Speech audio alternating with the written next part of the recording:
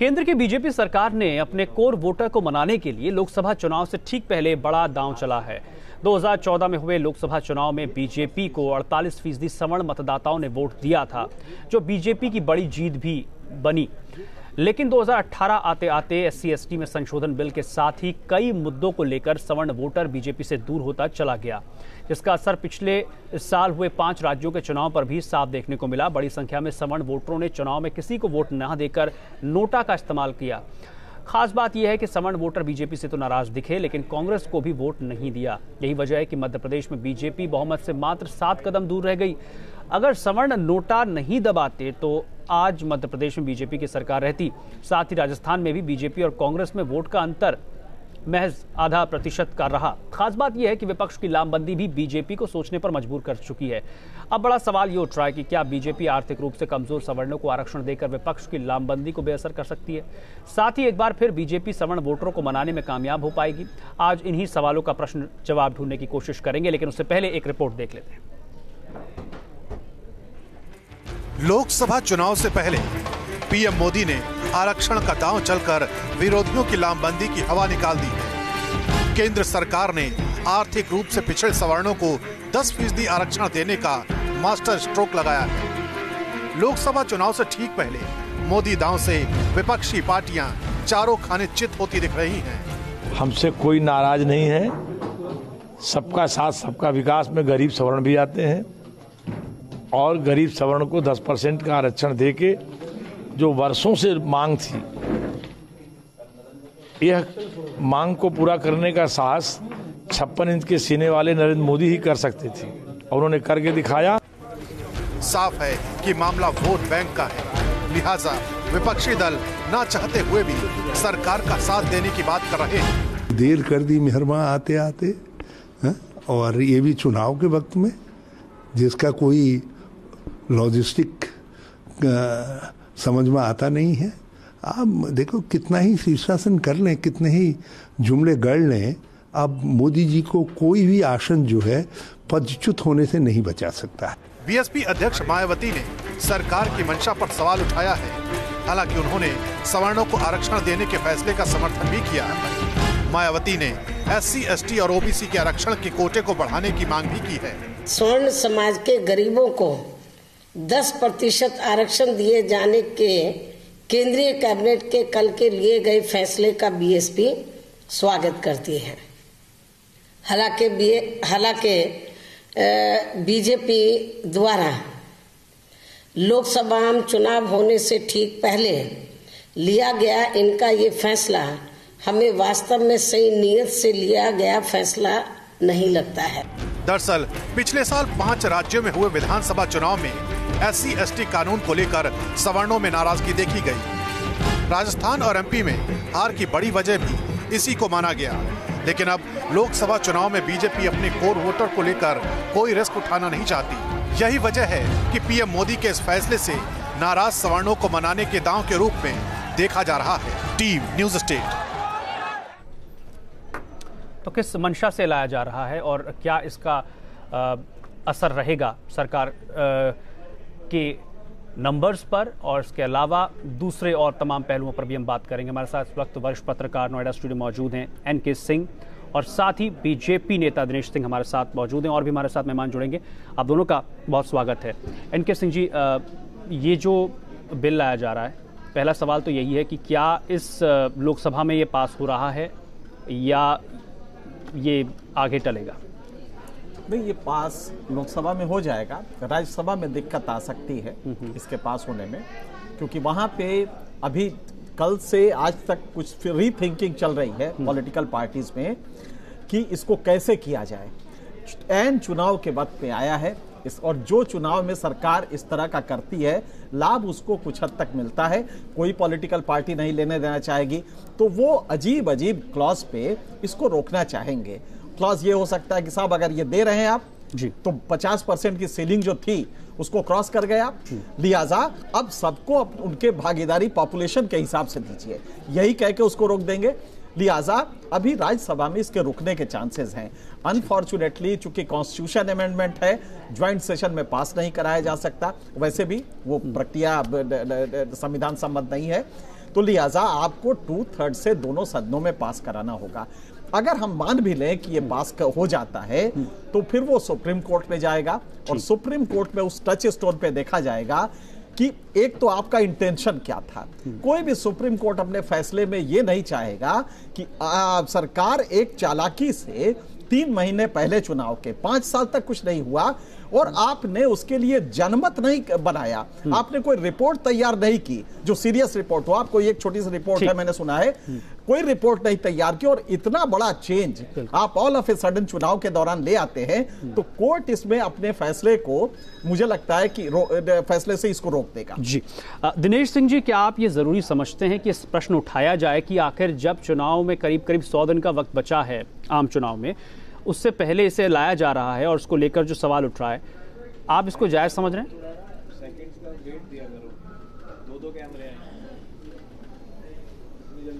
चलिए दिनेश सिंह जी से हमारी फ़िलहाल अभी संपर्क नहीं हो पा रहा है। सदफ जाफ़र जी हमारे साथ हैं कांग्रेस प्रवक्ता। सदफ जी आ, आपका स्वागत है। आप आपकी पार्टी विप जारी करके समर्थन करती है। ये दिखाने की पूरी कोशिश की आप एक उस फ्रैक्शन के साथ हैं उस समुदाय के साथ हैं जिसके लिए प्रयास किया जा रहा है। लेकिन इसके टाइमिंग को लेकर कुछ सवाल उठ रहे हैं। आप इस पर क्या कहना चाहेंगे?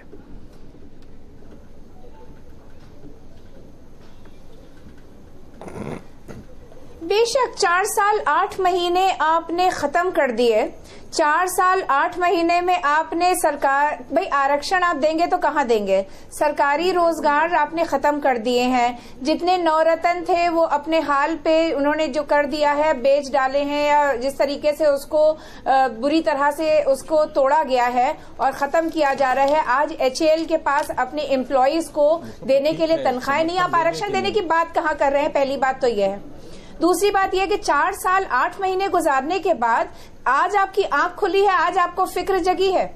2010-11 में जो है वो हम लोगों ने एक कांग्रेस पार्टी ने गठन किया था एक उस आयोग का और उसकी रिपोर्ट में भी यही बात कही गई थी कि 10 परसेंट आरक्षण होना चाहिए।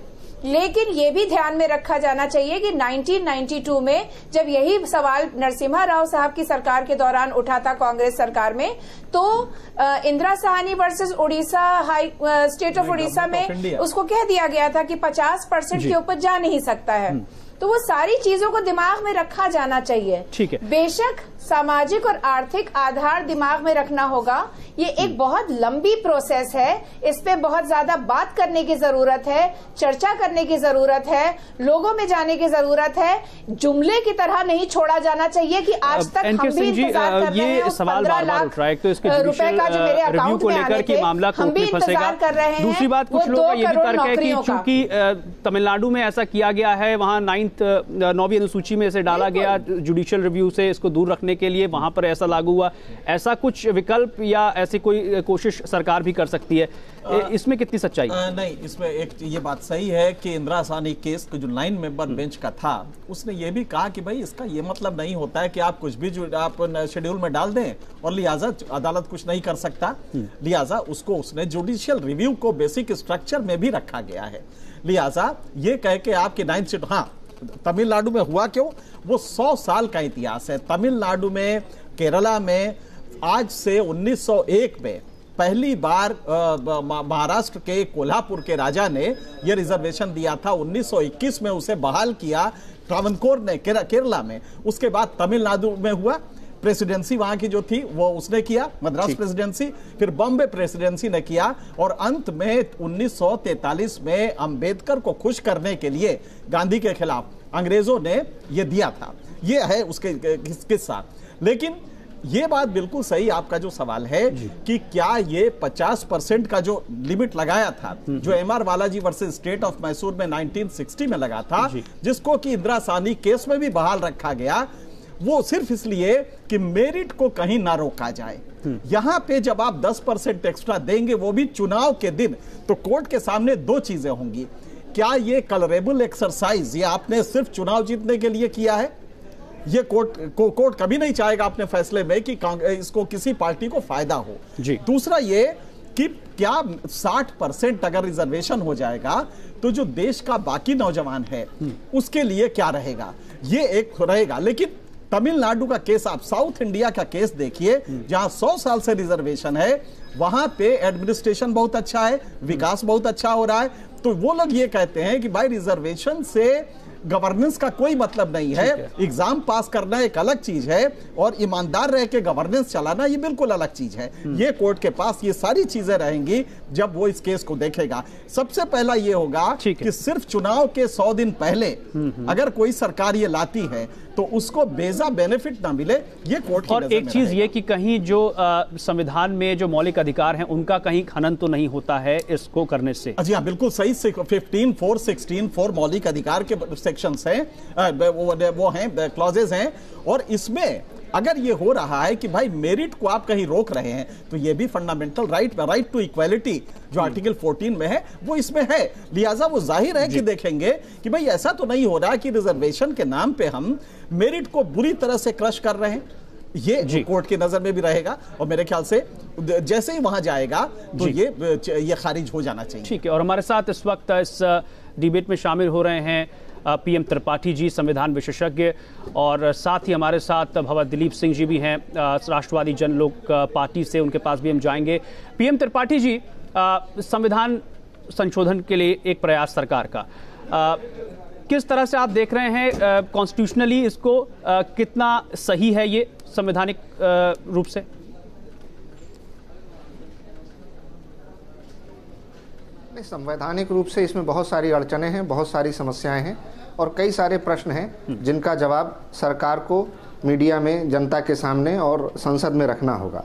पहली बात यही है कि जब इंदिरा साहनी वाले मामले में 50 परसेंट की जो सीलिंग थी उसको बहाल रखा गया तो इसमें 10 परसेंट ज़्यादा बढ़ जाने से जो 60 परसेंट हो जाएगा उसको वो कैसे जस्टिफाई करेंगे? दूसरी बात जो ओबीसी वर्ग है वो कहता है कि हमारा कास्ट सेंसस जो किया गया था उसके आधार पर हमको जनसंख्या के अनुपात में आरक्षण दिया जाए उसको आप क्या एक्सप्लेनेशन देंगे? जो प्रक्रिया है संसद में इसे पास होना चाहिए फिर देश की आधे से विधानसभाओं ज़्यादा इसका अनुसमर्थन होना चाहिए। तभी कोई संविधान संशोधन लागू हो सकता है। इसके लिए आपके पास पर्याप्त समय नहीं है सरकार के पास। जो शीतकालीन सत्र है ये लगभग समाप्ति पर है। इसके बाद बजट सत्र शुरू होगा जो कि बमुश्किल एक अंतरिम बजट सरकार रख पाएगी और उसके बाद लोकसभा के चुनाव आ जाएँगे। तो जो प्रक्रिया है इतनी लंबी और जटिल है कि संविधान संशोधन करने के लिए इसमें पर्याप्त न तो समय है न अवसर है और न ही सभी राजनीतिक दलों के बीच उसमें कोई एकमत सामंजस्य है। और कोई सामंजस्य बना पाना भी संभव दिखता नहीं। पीएम त्रिपाठी जी क्या महिला फ़िलहाल आरक्षण यही से लगता जो है कि मिलता ये एक राजनीतिक दूरगामी लाभ के लिए ये कदम उठाया गया है। क्या उसी की जैसी इसका जी। हम्म क्या पूछ रहे हैं आप? क्या जो महिला आरक्षण की कोशिश हुई थी क्या उसी का जैसा मिलता हुआ इसका एक फॉर्मेट हम इसको ऐसे समझे? हम्म।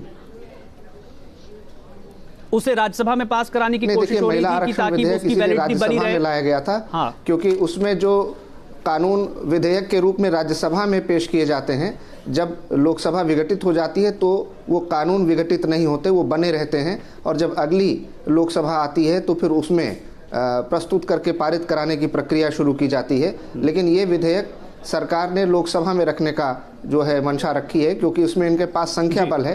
और अगर यहाँ से पारित होता है तब ये राज्यसभा में जाएगा। राज्यसभा में भी जाने के बाद ये संविधान संशोधन पूर्ण नहीं हो जाएगा। फिर उसके लिए विधानसभा की सहमति की आवश्यकता होगी। और देश में इस समय 29 राज्यों और सात संघ शासित क्षेत्रों में दो में यानी कुल 31 विधानसभाएँ हैं यानी कम से कम 15 अ, से ज़्यादा विधानसभा जब इसका समर्थन करेंगी तब इसे राष्ट्रपति के।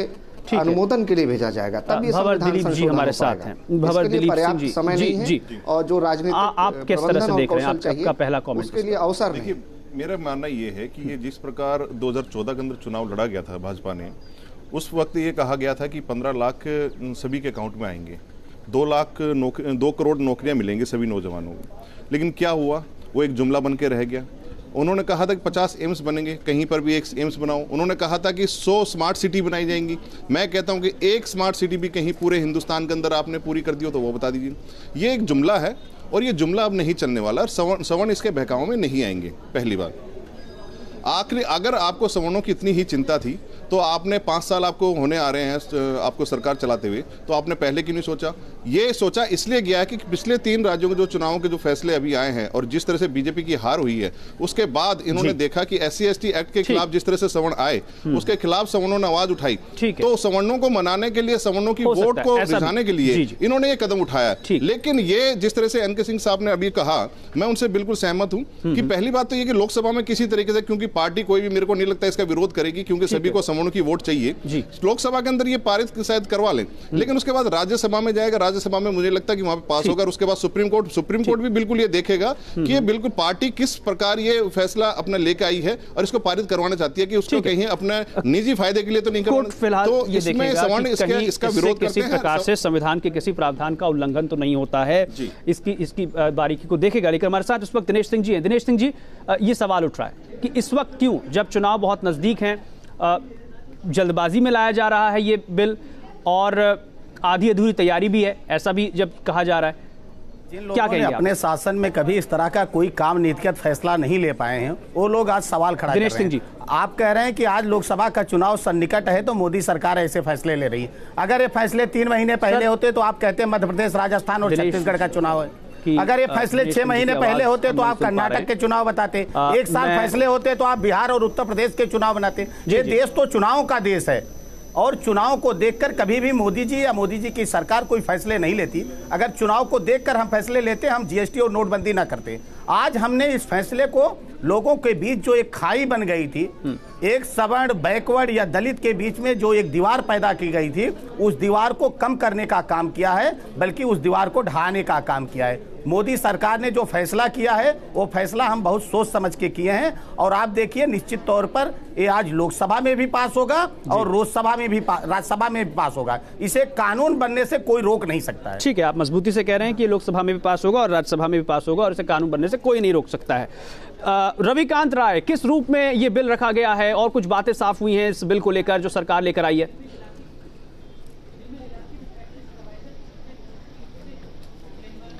देखिए, लोकसभा में बिल को इंट्रोड्यूस कर दिया है। थावरचंद गहलोत ने दो बजे का वक्त निर्धारित किया गया है, जब दो बजे लोकसभा में इस बिल पर चर्चा होगी। आपको याद होगा कि प्रधानमंत्री ने कहा था कि चार साल तक हम लगातार काम करेंगे और पाँचवें साल में हम आपको बताएँगे कि राजनीति किस तरीके से की जाती है। ये एक ऐसा सियासी दाव है जिसका कोई विरोध नहीं कर रहा है, खुलकर सामने नहीं आ रहा है। लोकसभा में जब आज इस बिल पर चर्चा होगी, सरकार को पूरी उम्मीद है कि कांग्रेस पार्टी सदन में इसका समर्थन करेगी। लोकसभा से पास होने के बाद आज ही बिल की जो कॉपी है, वो सर्कुलेट की जाने वाली है राज्यसभा के मेंबर्स को। कल इसे राज्यसभा में रखा जाएगा। और इसीलिए राज्यसभा की कार्रवाई जो है एक दिन के लिए बढ़ाई गई है। अगर राज्यसभा में कोई अड़चन आती है ये बिल वहाँ से पास नहीं हो पाता है दो तिहाई बहुमत से। तो सरकार के पास ये कहने को होगा कि हम सवर्णों को आर्थिक आधार पर जो पिछड़े हुए हैं उनको 10 फ़ीसदी आरक्षण देना चाहते हैं लेकिन ये पार्टियाँ इसका विरोध कर रही हैं क्योंकि बीजेपी को ये पता है कि तीन राज्यों में जो हार मिली है उसके पीछे कहीं ना कहीं सवर्ण की नाराज़गी है और अपने वोट बैंक को दोबारा हासिल करने के लिए ये सियासी दाव चला गया है। मोदी कैबिनेट ने जो फैसला लिया है ये कोई एक दिन का फैसला नहीं है। जब कैबिनेट की बैठक हुई तो कैबिनेट मंत्रियों को इस बात की जानकारी नहीं थी कि आज की कैबिनेट में क्या कुछ फैसला होने जा रहा है। यानी तैयारी पहले से थी पूरी तैयारी करके इसके जितने संवैधानिक पहलू हैं कानून के जो जानकार हैं उनसे जानकारी लेने के बाद सरकार ने यह फैसला लिया और आज दो बजे लोकसभा में इस बिल पर चर्चा होगी और उसके बाद यहाँ से पास कराने के बाद सरकार इसे राज्यसभा में भेज देगी तो कई विचार इस बिल को लेकर भी सामने आएँगे पक्ष और विपक्ष के इस बीच हमारे साथ अब्दुल हफीज गांधी जी मौजूद हैं एसपी प्रवक्ता। अब्दुल हफीज गांधी जी, आपका स्टैंड इस बिल पर।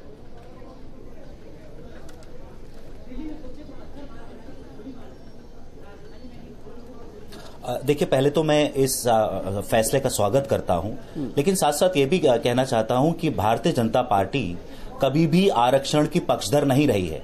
जब 1990 के दशक में मंडल कमीशन के रिकमेंडेशन को लागू किया गया था तो भारतीय जनता पार्टी ने पुरजोर विरोध किया था और सड़कों पर उतरे थे और इसी तरह से जो है वो सरकार गिर गई थी। तो भारतीय जनता पार्टी आरक्षण की पक्षधर कभी नहीं रही है। तो सीधा सीधा यह है कि जो ये आज का फैसला दिखाता है, ये कहीं ना कहीं वोटों की राजनीति से है और ये नीजक रिएक्शन है भारतीय जनता पार्टी का। तीन जो हिंदी हर्टलैंड राज्य भारतीय जनता पार्टी हारी है, उस, उससे उभरने के लिए मैं समझता हूँ ये कहीं ना कहीं फैसला लिया गया है। हमारी पार्टी आरक्षण हर तरीके के आरक्षण के पक्षधर है। हम इस फैसले का स्वागत करते हैं। लेकिन ये भी कहना चाहते हैं कि आज केंद्र सरकार के पास कास्ट सेंसस है। कास्ट सेंसस को पब्लिक किया जाए पब्लिक डोमेन में लाया जाए उससे आपको हर वर्ग की आबादी पता लग जाएगी। और अगर आबादी के हिसाब से आरक्षण दिया जाए तो किसी भी वर्ग में नाराज़गी नहीं रहेगी किसी भी वर्ग में मायूसी नहीं रहेगी। तो हम हम जनसंख्या के हिसाब से आरक्षण के हमेशा से पक्षधर रहे हैं और हमारी अभी भी मांग है। लेकिन मैं इतना कहना चाहता हूँ कि ये चुनावी फैसला है और चुनावी फैसला इसलिए है कि विंटर सेशन के खत्म होने से दो दिन पहले आप ये फैसला लेते हैं। आपको पता है कि कानूनी प्रक्रिया पूरा करने में आपको बहुत वक्त लगेगा। आप इसे पास करा आधे से ज़्यादा राज्यों को पास करना है। आपकी पार्टी इसके साथ है? इसको पास करवा रही है? हम बिल्कुल बिल्कुल हम इसका हम हम कह रहे हैं देखिए आपने शायद मुझे सुना आपने मुझे शायद सुना नहीं, मैंने कहा सुना। कि हम हर तरीके के आरक्षण के पक्षधर हैं। दिनेश जी भी साथ साथ। हमारा ये भी मानना है कि ये भारतीय जनता पार्टी दिनेश जी हमें बताएँगे। दिनेश जी आपने सुना क्या कहा? अब्दुल अब्दुल हफीज जी का कहना है कि बीजेपी आरक्षण की विरोधी रही है तो अब की बार आरक्षण की कोशिश क्यों हो रही है?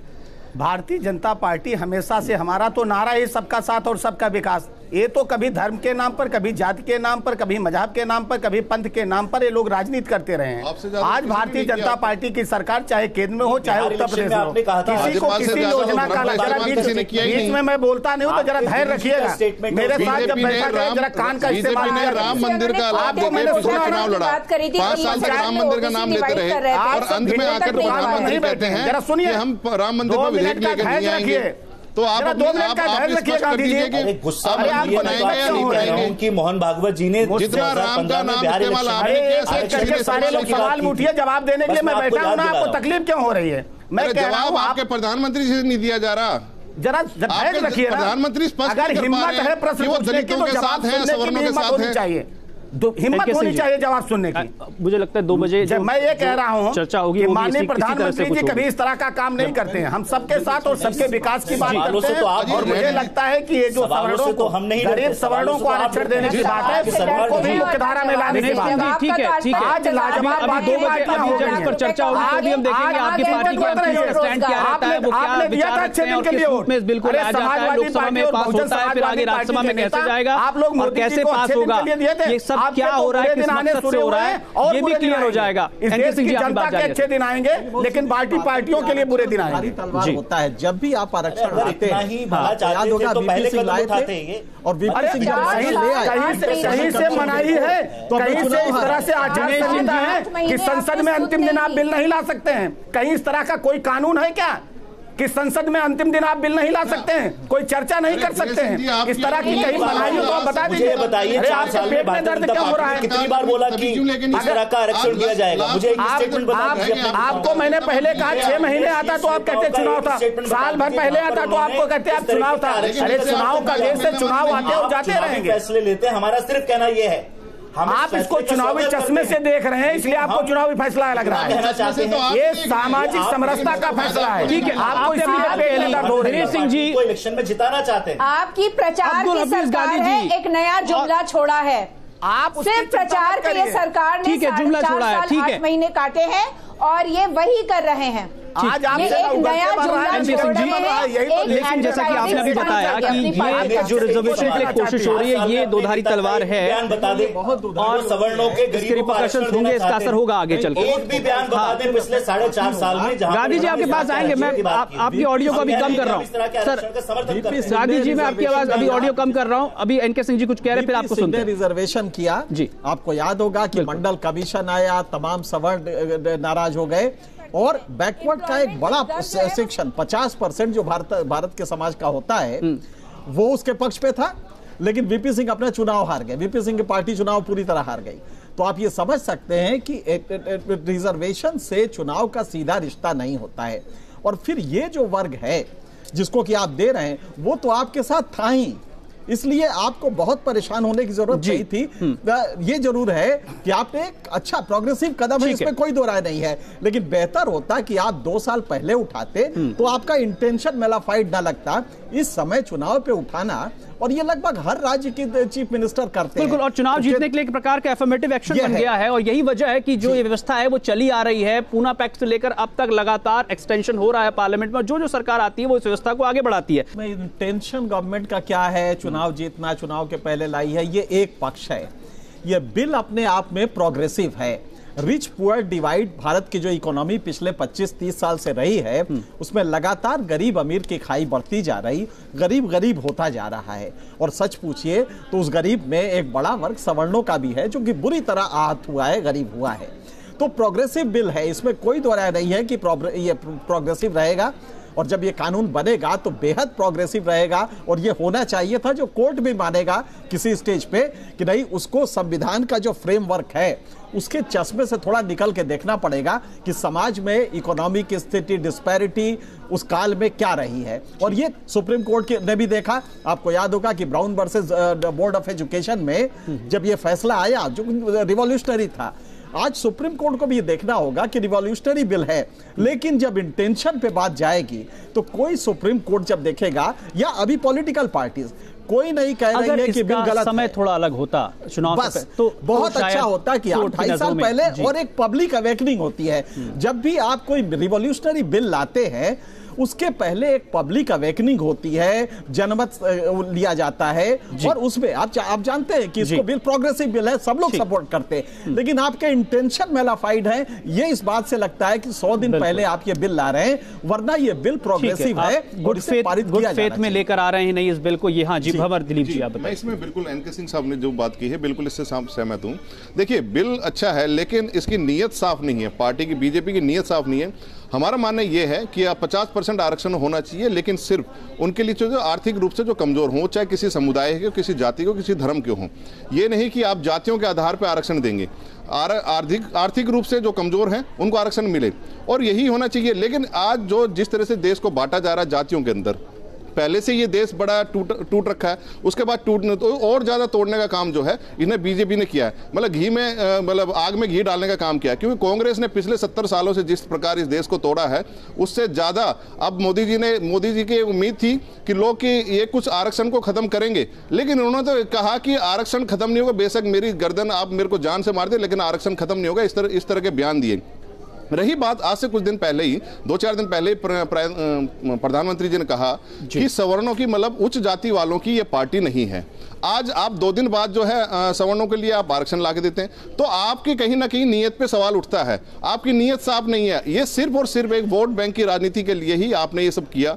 अदरवाइज़ आपको कोई ज़रूरत नहीं थी। अगर आपकी नीयत साफ़ होती तो आज से दो साल पहले ही आप ये बिल लेकर आते और सवर्णों की आपको इतनी चिंता थी। लेकिन पिछले तीन राज्यों के जिस प्रकार चुनाव के नतीजे आए उसके बाद आपको पता चला कि सवर्ण इस हिंदुस्तान के अंदर अपनी ताकत रखते हैं। और सवर्ण ही नहीं अल्पसंख्यक भाइयों को भी जो जिस प्रकार अल्प अभी आपको बता दूँ कि अल्पसंख्यकों को भी आरक्षण नहीं है।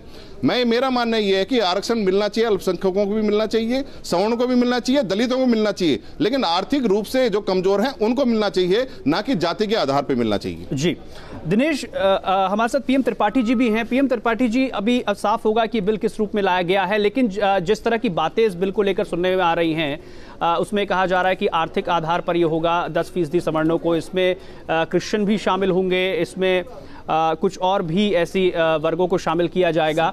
सिख होंगे। तो क्या ये पर्पज सॉल्व करता है? क्या इसका इस, जिस मकसद से लाया जा रहा है आ, ये बिल उस उस मकसद को पूरा कर पाएगा या इसमें बहुत प्रकार की ऐसी तकनीकी अड़चने रहेंगी जो कि इसके रूप या इसके मग, इसके पूरे प्रयास को ही विफल तो करेंगी? बिल का जो ड्राफ्ट है जी। वो कौन सा संसद में किस तरीके से वो पेश किया जा रहा है उसके प्रोविजंस क्या क्या हैं उसमें प्रावधान क्या क्या रखे गए हैं जब इस पर चर्चा होगी जब हम लोग उसको देखेंगे पढ़ेंगे हम्म। तो बेहतर तरीके से बता पाएँगे क्योंकि पब्लिक डोमेन में अभी तक इस विधेयक का प्रारूप क्या है उसमें प्रावधान क्या क्या रखे गए हैं इस पर कोई भी बातचीत या विमर्श नहीं हुआ है और न इस तरीके से सरकार की ओर से इसे सार्वजनिक किया गया है तो जब ये लोकसभा में प्रस्तुत होगा उसके बाद जब ये सार्वजनिक विमर्श के लिए आएगा तभी इस पर कौन सी तकनीकी खामियाँ हैं क्या इसके अच्छे पक्ष हैं क्या इसका गुण है क्या इसका दोष है उस पर टिप्पणी की जा सकती है लेकिन जहाँ तक वोट बैंक की पॉलिटिक्स की बात है तो हमारे देश में सारे राजनीतिक दल वोट बैंक की ही तो पॉलिटिक्स करते रहे। और राजनीतिक दल अगर राजनीति नहीं करेंगे तो क्या करेंगे? इन्होंने भी अपना मौका देख करके एक राजनीतिक चाल चल दिया है, जिसके पक्ष और विपक्ष में आज हम लोग यहाँ पर चर्चा और विमर्श कर रहे हैं। लेकिन ये बात सच है कि ये विधेयक पास हो पाए, न हो पाए, जब भी हो पाएगा, इस कोशिश ने एक संसद में उस प्रक्रिया को तो आगे बढ़ा ही दिया है और देश में उस राष्ट्रीय जनमत को विमर्श के लिए आपसी बातचीत के लिए एक मंच मुहैया करा दिया है कि भविष्य में आगे हमेशा इस तरीके की कोशिश जारी रहेगी। और ये आ, मुझे लगता है कि नहीं इस बार तो आने वाले समय में ये पारित होगा। और न्यायपालिका को भी नए नज़रिए से नए तरीके से नए सामाजिक आर्थिक परिदृश्यों को ध्यान में रख करके अपने निर्णय में इस बात को ध्यान रखना होगा कि संवैधानिक संशोधन समय समाज संस्कृति के अनुसार होते रहते हैं। और संविधान के अनुसार ही देश का शासन प्रशासन और न्याय व्यवस्था भी चलती है। जी एन के सिंह जी व्यवस्था जब लागू हुई आरक्षण की तो उस वक्त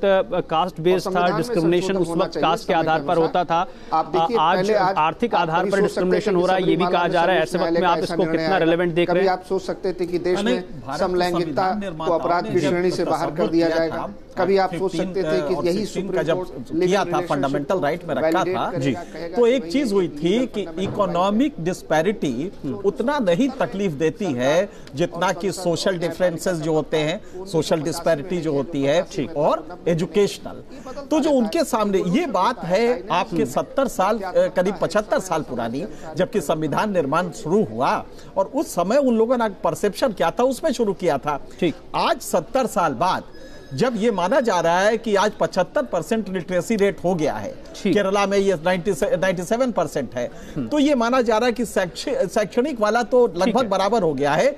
इकोनॉमिक डिस्पैरिटी बढ़ी है। हाँ। तो हाँ। मेरे ख्याल से प्रोग्रेसिव बिल है समाज को सोचना पड़ेगा। प्रगतिशील बिल इसे हम आज की तारीख में कह सकते हैं। हमारे साथ दिनेश सिंह जी भी हैं। दिनेश सिंह जी आप कुछ कहना चाहेंगे इस पर फिर उसके बाद चर्चा में समय कम है। मैं सिर्फ़ ये कह रहा हूँ कि हाँ। देखिए इस देश में किस कौन किस रंग का चश्मा पकड़े पहनेगा और उसको दुनिया किस रंग की दिखेगी ये किसी को रोका नहीं जा सकता अगर आपने लाल रंग का चश्मा लगा लिया तो आपको दुनिया लाल दिखेगी आपने नीले रंग का चश्मा लगाया तो आपको दुनिया नीली लगेगी। ये फैसला जो बिल आज आया है हमारी सरकार ने दिल और दिमाग दोनों को पूरी तरह से इसमें प्रयोग किया है इसलिए किसी को किसी संशय की ज़रूरत नहीं है। जो इस देश में फैसले इसलिए लेते थे कि वोट के लेकिन नाफे जो पाँच राज्यों के रिज़ल्ट थे पाँच राज्यों का रिज़ल्ट और इस बार नोटा का जो इस्तेमाल किया लोगों ने किया उसने कहीं सोचने पर मजबूर किया बीजेपी को?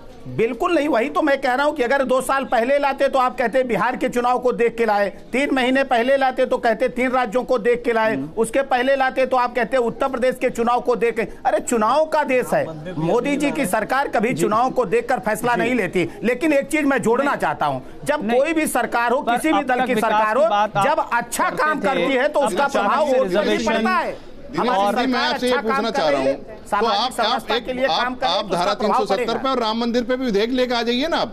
आपको अगर इतनी चिंता है तो राम मंदिर तो विधेयक लेकर आइए। आप जिस प्रकार S C S T act के खिलाफ टी खिलाफ विधेयक लिया है आप। उस प्रकार राम मंदिर पे भी आइए आप। अरे आप आप संसद में कहिए कि हम लोग समर्थन देने वाले कहिए नैतिक साहस है तो एक कांग्रेस के नेता तो खड़े होकर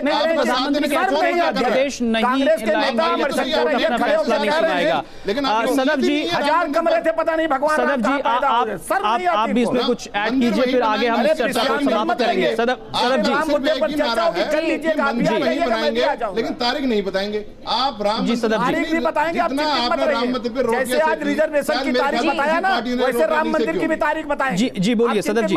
जी बताइए। तो आप बताइए ना तारीख आपका आखिरी कमेंट उसके बाद फिर समय कम है चर्चा को हम समाप्त करेंगे। देखिए ये मुद्दा जो है ये बिल्कुल डाइवर्ट हो रहा है। हम्म। हाँ ये मुद्दा बिल्कुल डाइवर्ट हो रहा है। मैं इसको वापस लेकर आना चाहती हूँ 10 परसेंट सवर्ण आरक्षण पे हम्म। जिसका कांग्रेस पार्टी हमेशा से समर्थन करती रही है। 1992 से हम समर्थन करते आए और उससे पहले से भी।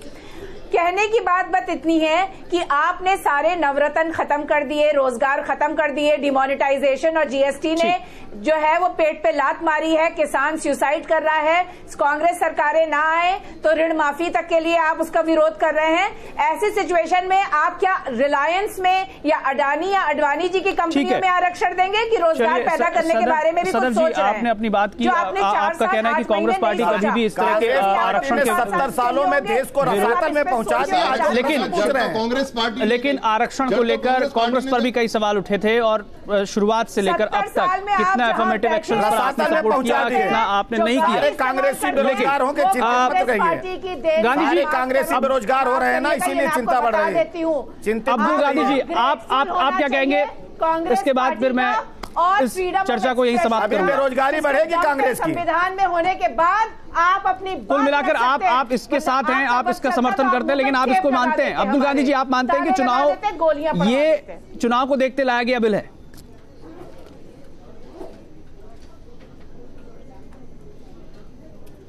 जी गांधी जी। देखिए मुझे एक बात की खुशी है कि भारतीय जनता पार्टी मेरिट का आर्गुमेंट बहुत देती थी। अब ये अफसर की समानता पर आ गए ये बहुत खुशी की बात है। दूसरा, ये 24 लाख जो पद केंद्र सरकार के विभिन्न विभागों में खाली पड़े हैं पिछले चार साल से, कब भरेंगे? आरक्षण की बात तो बहुत अच्छा है, लेकिन आरक्षण तो तब मिलेगा जब आप उन पदों को भरेंगे। 24 लाख ये पार्लियामेंट में दिया हुआ डाटा है कि विभिन्न विभागों में पद खाली पड़े हुए हैं लेकिन भारतीय जनता पार्टी को उसकी चिंता नहीं है। हम ये मानते हैं कि आरक्षण होना चाहिए सवर्णों के गरीबों को लेकिन ये जो कदम उठाया गया है माननीय मोदी जी द्वारा वो सिर्फ़ चुनावों को देखते हुए बेशक। ठीक है तो आरक्षण भले ही हो लेकिन जॉब क्रिएशन भी ज़िम्मेदारी है और वो उस मोर्चे पर सरकार क्या करेगी इस पर भी सबकी नज़रें रहेंगी। बहरहाल आप सभी मेहमानों का धन्यवाद इस चर्चा में शामिल होने के लिए। फ़िलहाल कुछ पलों के रुक रहे हैं खबरें जारी हैं।